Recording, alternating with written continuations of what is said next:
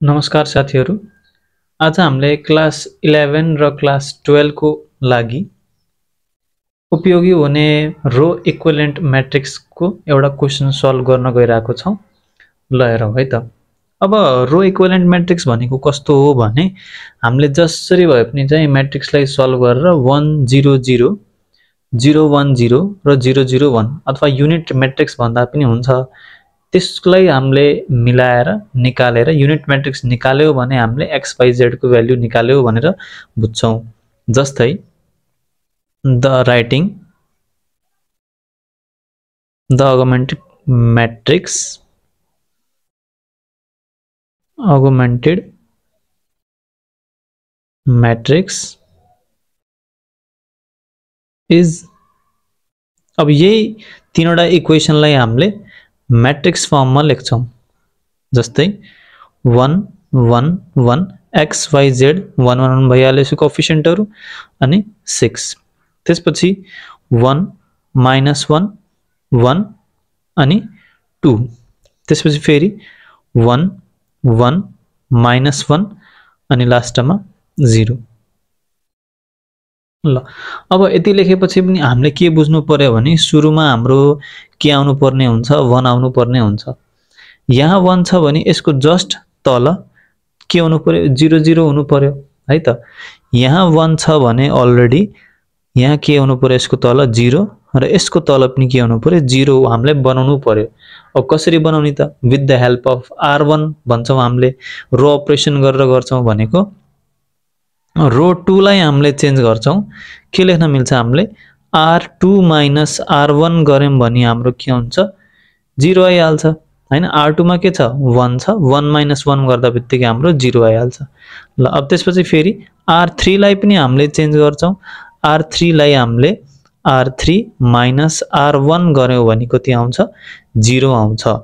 ल त्यस पछाडि रो वानलाई हामीले चेन्ज गरेको छैनौँ भने नि एज इट इज लेखिदिउँ वान वान वान अनि यहाँनिर सिक्स अब यो त हाम्रो चेन्ज भएको आर टू माइनस आर टूमा के छ? वान छ। वान माइनस वान भनेको यहाँनिर जिरो त्यसपछि आर थ्रीलाई पनि हामीले चेन्ज गरेको हो। यहाँनिर पनि जिरो लेखिदिउँ। अब पक्कै नै जिरो नै हुन्छ।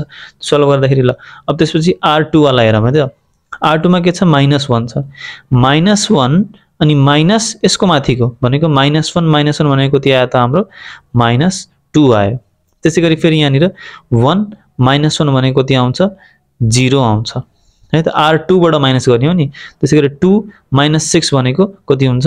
माइनस फोर हुन्छ ल। आर टूको काम सक्यो। त्यसपछि हामी कहाँ जान्छौँ? आर थ्रीमा जान्छौँ। आर थ्री भनेको अब के छ त यहाँनिर? One minus R one one minus one भन्दा बित्तिकै यहाँनिर कति भयो? जिरो भयो। त्यसपछि फेरि माइनस वान अनि कति भयो हाम्रो यहाँनिर? माइनस वान माइनस वान भनेको कति आयो त? माइनस टू आयो। With the help of R one भनिन्छ है हामीले। जस्तै आर टूलाई पनि हामीले चेन्ज गर्नु छ भने with the help of R one गर्नु पऱ्यो होइन? आर थ्रीलाई पनि हामीले चेन्ज गराएको छ भने फेरि आर वानको हेल्पले नै गर्न गर्नु पऱ्यो त्यसरी नै गर्नु पऱ्यो ल। त्यसै गरी फेरि यहाँनिर के छ? जिरो छ। जिरो माइनस सिक्स भनेको कति आउँछ हाम्रो यहाँनिर? माइनस सिक्स आयो ल। एक काम हमने हामीले सकायौँ अब त हामीले के भन्थ्यौँ भने one, zero zero zero, one. भनेपछि अब यो जुन एलिमेन्ट छ नि यो एलिमेन्टलाई हामीले के गराउनु पऱ्यो वान गराउनु पऱ्यो अब कसरी गराउन मिल्छ हामीले आर टूलाई अपरेसन गर्न मिल्छ होइन यो भनेको माइनस वान अपन टूले हामीले मल्टिप्लाई गरिदियौँ भने त के हुन्छ आर टू कति थियो माइनस टू छ भने वान आइहाल्छ होइन त, फेरि लेखौँ अब यो वान वान वान हामीले आर टूलाई मात्रै चेन्ज गरेछौँ त्यही भएर आर टूलाई मात्रै ध्यान दिउँ है त ल यहाँनिर सिक्स नै छ। अब आर टूलाई चेन्ज गरेको जिरोले केही फरक पर्दैन त्यही भएर जिरो यहाँनिर माइनस टूले डिभाइड गर्दाखेरि one zero divide by minus two भनेको के हुन्छ? हाम्रो जिरो नै हुन्छ। अब minus four divide by minus two गर्दाखेरि minus four minus two divide गर्दा त्यही हाम्रो के आउँछ? यहाँनिर टू आइदिन्छ है त? अब आर थ्री पनि हाम्रो एज इट इज छ किनभने हामीले चेन्ज त गरेको छैनौँ। जिरो माइनस टू अनि यहाँनिर माइनस सिक्स।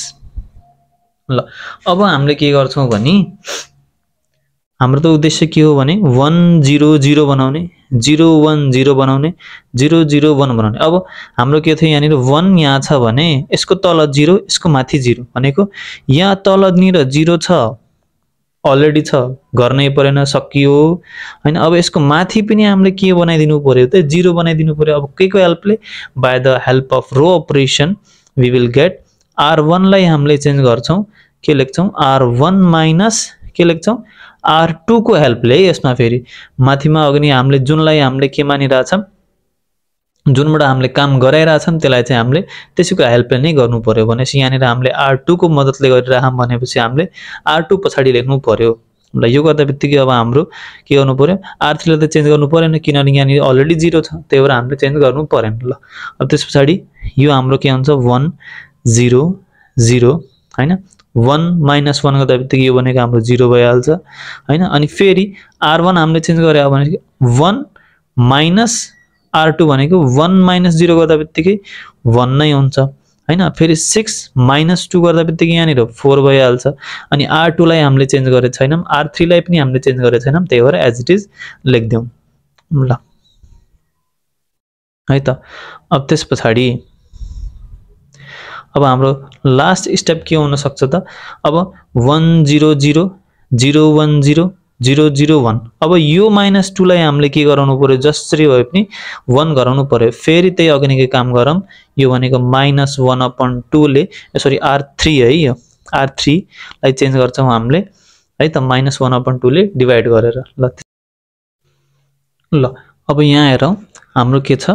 यहाँ वान जिरो जिरो अनि यहाँनिर जिरो वान जिरो अनि zero. Minus two divide by minus two गर्दा बित्तिकै हाम्रो कति आउँछ? यहाँनिर वान अनि four. As it is two पनि as it is minus six divide by minus two गर्दा बित्तिकै हाम्रो कति आउँछ त?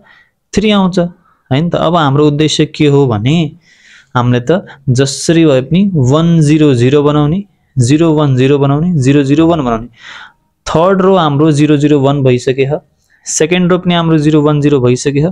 तर यहाँनिर चाहिँ हाम्रो के हुनुपर्छ? वान जिरो जिरो हुनुपर्छ। अब भनेपछि यो वानको हेल्पले हामीलाई यसलाई जिरो बनाउने हो। भनेपछि के लेख्न मिल्छ भने R one goes to R one minus R three गर्नु मिल्छ है त? त्यस पछाडि यो भनेको one zero zero as it is होइन त? यो भनेको जिरो वान जिरो पनि as it is one zero zero as it is अब त्यस पछाडि यो थ्री पनि एज इट इज टू पनि एज इट इज हामीले त आर वानलाई मात्रै चेन्ज गरेको भनेपछि के गर्नु पऱ्यो फोर माइनस थ्री गर्नु पऱ्यो नि। फोर माइनस थ्री भनेको वान भइहाल्छ। भनेपछि यति भएपछि one zero zero zero one zero zero zero one आउँदा बित्तिकै हामीले के बुझ्नु पऱ्यो भने हाम्रो आन्सर आयो।